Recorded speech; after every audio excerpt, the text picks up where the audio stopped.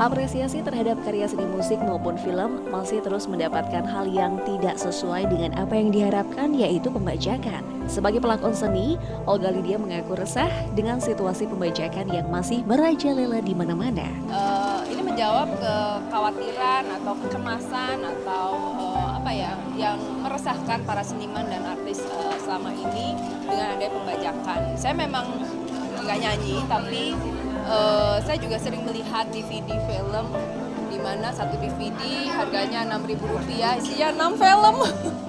Jadi satu film uh, hanya seribu rupiah. Itu pun tidak untuk produser gitu. Jadi uh, ini sesuatu hal yang memprihatinkan. Tak hanya dengan situasi pembajakan saja Olga turut menyampaikan keresahannya terhadap perhatian pemerintah pada industri hiburan tanah air.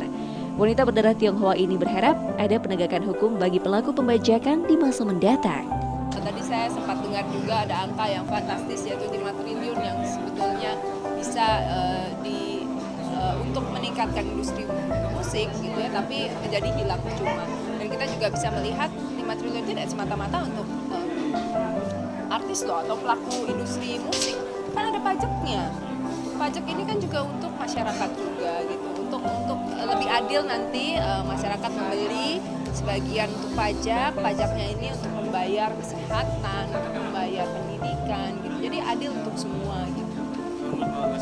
Kalau kita melihat memang mendapatkan DVD bajakan itu sangat mudah gitu ya. CD bajakan juga sangat sangat mudah.